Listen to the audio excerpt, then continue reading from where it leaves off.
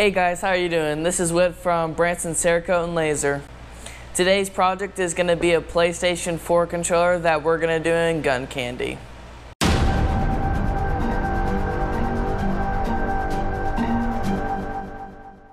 So that was Whit, and uh, as he told you, what we're going to do today is one of his PlayStation 4 controllers. So, so what we're going to do to it is just spray graphite black on it, bake it out for two hours at 150, let it bring it out, let it cool, spray Scorpion gun candy on it. He's going to have to bite his nails and let it dry for a week, and it'll be good to go. He'll reassemble it, and it'll be ready to go.